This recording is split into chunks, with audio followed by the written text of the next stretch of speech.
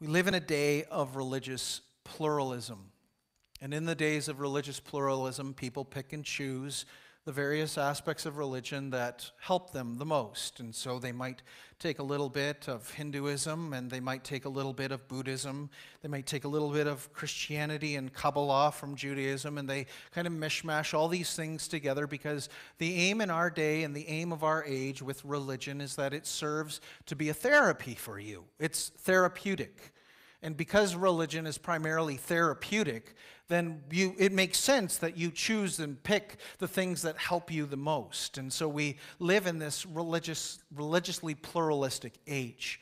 The pluralism of the age actually goes back to this idea that there are uh, an equality of all religions. You might have heard the account, the story of four blind men Four blind men who approached an elephant, and as they approached, the one blind man first reached and he, he touched the trunk and thought what he was holding was a snake. And the second blind man held and grasped onto the leg and thought it was the trunk of a tree. The third blind man reached out and felt the tail and thought it was a branch. And the final man, the blind man, came up against the side of the elephant and thought he was touching a wall. We're told in religious pluralism that this is the experience of all people, that all humans experience the divine. It's just different elements of the divine that they experience. And because they experience different elements of the divine, it's all, they're all worshiping the same God. But in light of that, that they're just reaching and grasping for what they can experience and what they can know. In the days of Israel, it was not unlike the days that we are describing now. That every person picks and chooses their own gods. The northern nation, Israel, the ten tribes, had picked and chosen various aspects of the religions around them for the reason that those gods provided very therapeutic needs. But beyond therapy, actually, they provided what they thought were very practical needs. The nations, the nations around them had gods that would help you with fertility so that your crops would grow well, grow well, that you'd have lots of kids. They'd have gods of weather so that you could get the right weather to grow your crops. They'd have gods who promised blessing and, and growth and, and the spread of all things good. And so there was this picking and choosing, and that had ultimately led to the northern kingdom's demise. They had fallen by the wayside. When Hezekiah, the king of Judah, the southern kingdom, had seen what had happened to the northern kingdom, it was a wake up call. And we're told in chapter 18, verses 1 through 5, that Hezekiah was the most faithful king that there was in all of Israel's history from the time of David till there was no king on the throne that he was the king par excellence, that he had torn down the altars to the, the foreign gods, that he had even taken the bronze serpent that Israel had used in the wilderness, and he had destroyed it when Israel had turned that into a form of idolatry themselves. He was a faithful king. And as a result of his faithfulness, as Assyria, that nation that Jonah, that we talked about last week, that Jonah had gone to, as Jonah had prophesied and prayed and spoken a word of message to them, the Syria had come and overrun the northern kingdom. And Hezekiah, knowing the warnings, had turned and trusted in the Lord. And he was faithful in his day. He had heeded those warnings as a faithful king. Now, what made King Hezekiah faithful? It's a question that we need to wrestle with this morning because in a day of religious pluralism where there are many gods that are abounding, I think we also need to wrestle with the question of how do we be faithful? And King Hezekiah provides us with some insights there that will ultimately lead us, as all of the Old Testament stories that we've been going through, they point us to the glory of Christ. So, three things I want us to see from Hezekiah about faithfulness and I want us to see it for ourselves. And the first is that we are to be faithful to the one true word. Now, if I'm going to summarize here what's just happened, the passage that I've read, uh, the massive portion of this passage that I've read, we could summarize it by this Hezekiah had heeded the warning of Israel falling, and he revolted against Assyria, not trusting in this superpower. And as a result, the king of Assyria, Sennacherib, had wanted tribute to be paid. Hezekiah would strip the gold from the temple and take the silver from his, his, own, uh, his own resources, giving 30 tons of silver and three tons of gold to the king of Assyria, and that would not be enough. The king of Assyria would lay siege. He would want to surround Jerusalem and destroy it. If you rebel, this is what the superpower of this age will do. And yet, what ultimately this issue, the issue that boils, it boils down to here in chapter 18 and 19 is a question of whose name will you listen to? What word will prevail? In chapter 18, verse 19, we hear the field commander says to the people, Say to Hezekiah, Thus says the great king, the king of Assyria. And in verse 28, again, the field commander stood and called out in a loud voice in the language of Judah Hear the word of the great king, the king of Assyria. This is the first word that is spoken, the word of the king of Assyria. But there's another word that is spoken, and we hear of that word in chapter 19, verse 6, and uh, chapter 19, verse 20. That when Hezekiah hears these words, he sends for Isaiah, and in verse 6 it says, Isaiah said to them, Say to your master, Thus says the Lord. Or again in chapter 19, verse 20, Isaiah the son of Amos sent to Hezekiah, saying, Thus says the Lord, the God of Israel. We have here the contrast between two words. Will we listen to the word of the king of Assyria, or will we listen to the word of the Lord? And as this word is being proclaimed, that is the ultimate question that, that comes to the forefront. What word are you going to trust? What word are you going to listen to? What word is going to guide you?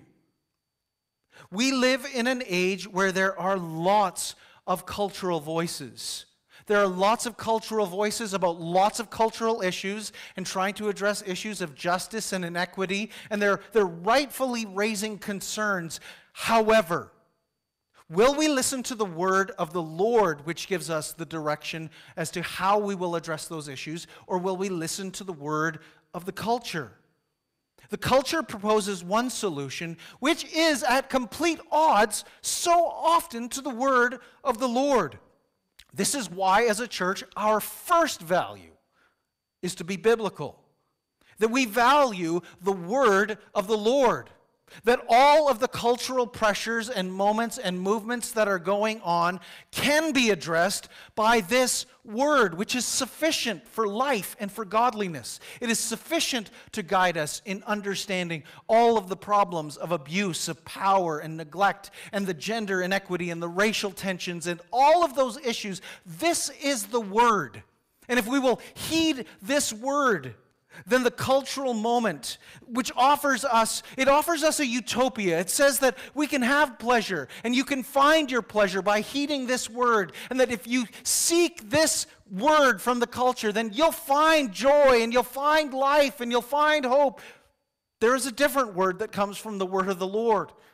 And it's a word that says will you endure in these times Will you listen to the word of the Lord? And by listening to the word of the Lord, find that His word offers joy forever, not just for a fleeting moment. And it's not a utopian ideal, but a reality grounded in the certain promises that God has made. Will we heed the word of the Lord? The second thing, though, that Hezekiah is called to be faithful to is he, he's faithful not only in heeding the one true word, but it's a call ultimately to be faithful under pressure. If we go back to this story, Hezekiah has rebelled. We see that in chapter 18, verse 7. And he is commanded to give tribute to the king of Assyria. So he strips the temple and his own wealth, he gives from his, his own um, palace. But for Sennacherib, that is not enough. And so he sends three of his top officials to meet with three of Hezekiah's top officials. And they gather at the aqueduct, just at the edge of the highway, we're told. And as they get there, the field commander basically issues a challenge. And the challenge goes like this, beginning in verse 19 Who are you going to trust? Are you going to trust Egypt? Verse 21. Are you going to trust in Yahweh, the Lord, the God of Israel? Are you going to trust in your own strength? If I gave you 2,000 horses, you couldn't even man those 2,000 horses. Assyria, basically, the argument goes, has been blessed by God. And God has commanded and issued that Assyria is coming up against the people of Jerusalem. So, how can you stand against the Lord when the Lord's against you? How can you withstand the power of Assyria? Now, Hezekiah's men are, it seems like they're shaking in their boots. They're a little bit nervous and they're saying, hey, listen, would you speak to us in Hebrew, in, in the Judean language, instead of in, or in, in, Aramaic? We understand Aramaic, instead of speaking to us in, in Hebrew, because all the men on the wall can hear this. This isn't good for morale, right? Like, if you're shouting at us and telling us what you're going to do in our own language, and all the men of the wall, the warriors, hear this, this is going to be disastrous. And the field commander says, No, no, they need to hear this. Hezekiah has offered a trust, a trust in the Lord, that the Lord will deliver. But he's so mistaken. He's, he's actually torn down the high places. And he, it's interesting what the field commander says. He's torn down the high places that, that pleased Yahweh. He's, he's doing all these things. If you want a future, if you want food and water, verses, um, really from verses 28 on, if you want to go to the promised land, we'll take you to the promised land. We'll take you to a land where you can eat figs and have your own water, and you can have grain and wine and bread and vineyards, a land of olives and honey. This is a promised land. We'll, we'll take you there. Then you better obey the word, the word of the king of Assyria. The response of Hezekiah's men in verses 36 and 37 at the end of chapter 18 is obedience to Hezekiah. He had said, Don't respond, be silent. And that's exactly what they do. And when Hezekiah receives word in chapter 19 of all these things, chapter 19, verse 1, as soon as Hezekiah heard this, he tore his clothes and covered himself with sackcloth and went into the house of the Lord. He sends for Isaiah the prophet. That prophet, we've got an entire book by this man, Isaiah of Amos, and the, the words of his prophecy are, are kept for us. And he prophesies about the end of Assyria and its destruction, and this very much matches the words that Isaiah had spoken in Isaiah 9 that doom and darkness and dread would come over the land, but Isaiah 4 verse uh, Isaiah 9 verses 4 and 5, the Lord would deliver Israel. He would deliver Judah from the hand of this superpower. And so he calls for this moment of faithfulness under pressure. What happens when we face pressure? The choice is there. Will we trust in the word of the Lord, or will we just surrender to exhaustion? I can't do it anymore. I'm just going to give up. I can't keep going. We all have gotten to that place. We've all felt like quitting and just, we're, we're exhausted we can't keep up the resolve because we're thinking that there is something that we just can't do. And yet, the call for us in the, in, in, the moment of pressure is will we give up or will we trust in the Lord? And so, there is this call to be faithful under pressure. That to be under pressure is a call for us to trust in the Lord in fresh and new ways. It's an opportunity for us to depend upon God, the God who is our strength and our hope. So we're called to be faithful to that one true word. We're called to be faithful under pressure. And finally, we're called to be faithful in prayer. This is what Hezekiah does. When, when word comes back from Sennacherib that, that Hezekiah is not going to give in, that Egypt is advancing, the word comes from the field commander again Listen, Yahweh is deceiving you. He's a liar. You can't trust him. How can you trust him? And there goes this list in verses chapter 19 verses 8 through 13. We really hear at the end of that section of a list of cities There's more cities that the king of Assyria has conquered, and they include cities in the northern kingdom, the kingdom of, of Israel. And so the response of Hezekiah in this threat, the threat, the looming threat of a superpower coming in, is verses 14 through 19. And what does he do?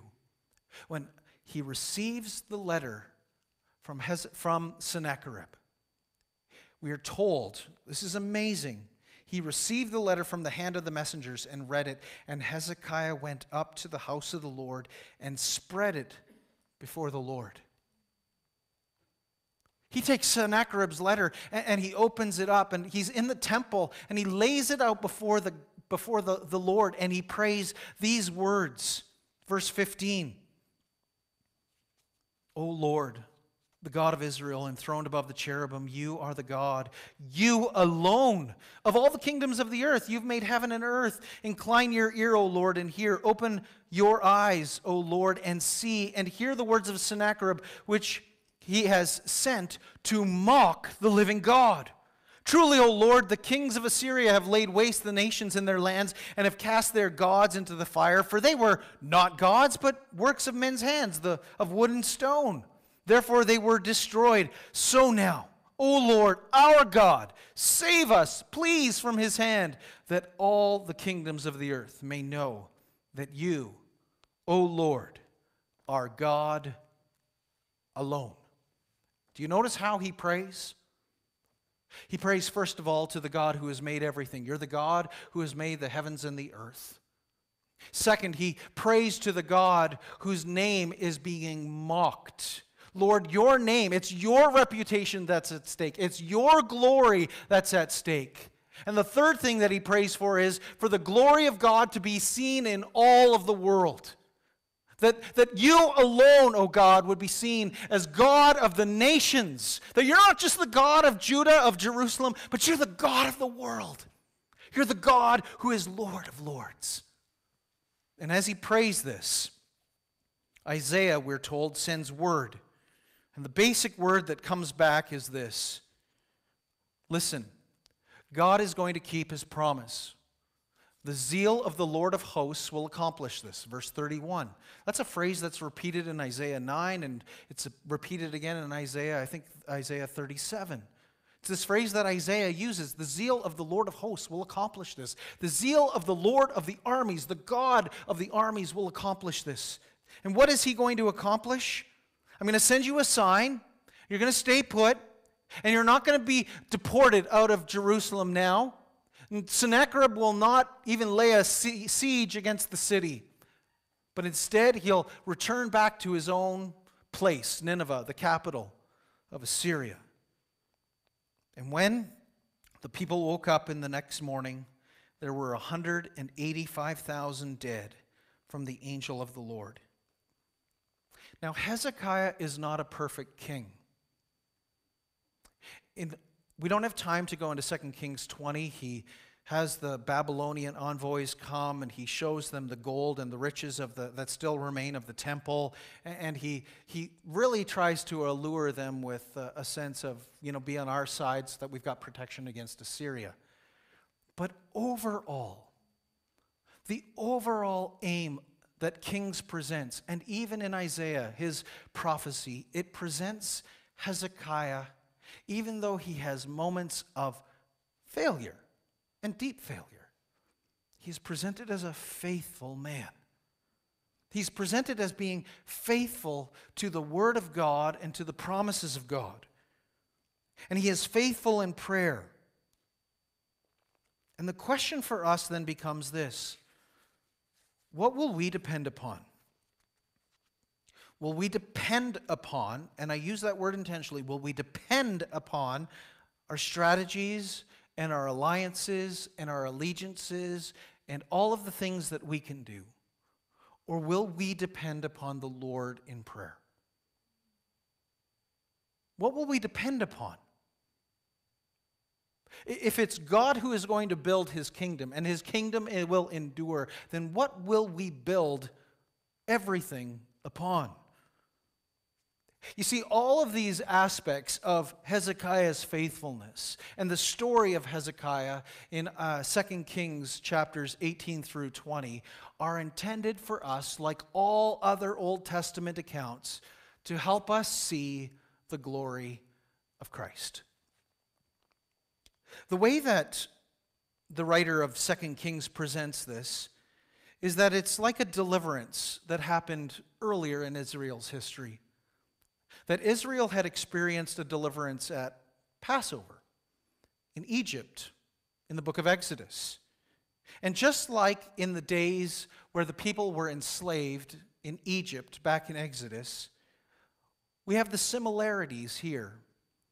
We have the similarities of the gods being threatened, the gods of the nations being threatened. You see how Hezekiah prays, There are no gods at all. That's why Assyria can overrun them. They're, the gods of the nations are not real gods. And the Lord had, had done his decreation work in Egypt, destroying the gods of the age, taking each one of the gods of the age of Egypt and showing that they were powerless through the ten plagues. And in the same way, the God of Israel, the God of Judah, is the God who is being threatened here by those who are no gods at all.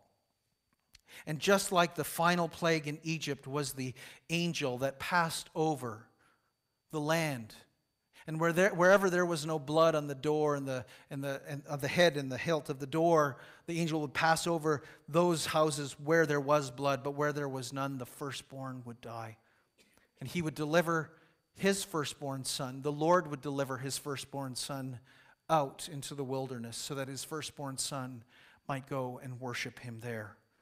And in the same way, here we have the angel of the Lord coming and bringing death, bringing death to 185,000 Assyrian troops. Now, when we read the book of Isaiah, Isaiah is full of prophecy from beginning to end. It's just full of prophecy. He's prophesying against the nations, and one of those nations is Assyria. And he speaks about, Isaiah speaks about Assyria in chapter 9. That gloom and darkness and dread will cover the land, but, but there will come this deliverance that will happen. And that there will be a deliverance that comes, Isaiah 9, verses 4 and 5. And this is the deliverance that Isaiah is speaking of. Now, as much as Isaiah is full of prophecies, there is one section in the book of Isaiah that is full of narrative. The rest is prophecy. And it's Isaiah 36 through 39, which recounts this account here. It recounts the story of Sennacherib and the Assyrian invasion and the Babylonian envoy. And it, it is Isaiah's recollection. He uses this memory here from 2 Kings 18 through 20. And as he says what's going on, Isaiah says to Hezekiah, Listen, there will be a time when Judah will go into exile. But it won't be, Hezekiah, it won't be in your day. And what Isaiah does is fascinating. He retells the story of Hezekiah's faithfulness under pressure in trusting the Lord and then moves to chapter 40 where he begins with the promise of a new exodus. Comfort, comfort my people, says your God. Speak tenderly, Jerusalem, for her sins have been paid for twice over. A voice cries in the wilderness, to prepare the way of the Lord. Make straight his paths. Every valley will be raised up, every mountain will be made, be made low. And this is the prophecy. And Isaiah sees in the future that what will happen is there will come a suffering servant, a servant of the Lord, who will deliver his Israel. And as he delivers his Israel, what he will do is that this suffering servant will come and he will be revealed as the power of God, as Isaiah 53, verse 1 says, to whom has the arm of the Lord been revealed. And he grew up before him like a shoot out of dry ground, and there was nothing beautiful or majestic in him. And we all, like sheep, have gone astray. But this suffering servant, do you know what he does? He takes on himself the iniquities of us all. And when Mark writes his gospel. How does Mark begin his gospel? The beginning of the gospel of Jesus Christ, the Son of God, as it is written in Isaiah the prophet Behold, I send my messenger before your face, who will prepare your way, the voice of one crying in the wilderness, Prepare the way of the Lord, make straight his paths. And Mark sees that the new Exodus that Isaiah promised in the days of Hezekiah is now coming true in Jesus Christ. That Jesus is the one who leads his people out of bondage and out of slavery. It is Jesus who delivers and rescues his people. It is Jesus whom we are told in Mark 10, verse 45, who is the ransom for many, that, prophes- that takes that prophecy of Isaiah 53 and says it's coming true. That the one who is the faithful and true one who never failed, we all have failed, but there is one who never failed, and it is the Lord Jesus. And so we put our trust in Him. You put your trust in anybody else, and guaranteed they will let you down. Because we're all more culturally bound than we realize. Do, do you realize that? That we're actually more bound to the gods of this age than we can even recognize?